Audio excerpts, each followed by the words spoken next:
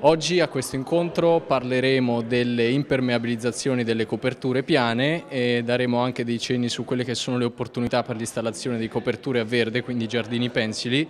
una volta che abbiamo sistemato eh, appunto la copertura dal punto di vista della tenuta all'acqua. Sappiamo che le coperture piane sono soggette eh, generalmente a delle criticità, sia coperture in legno che coperture tradizionali per lo strato di tenuta, quindi dobbiamo eh, assicurare che il sistema di impermeabilizzazione non abbia delle falle e quindi spiegheremo nello specifico con membrane sintetiche di impermeabilizzazione, in particolar modo le VA,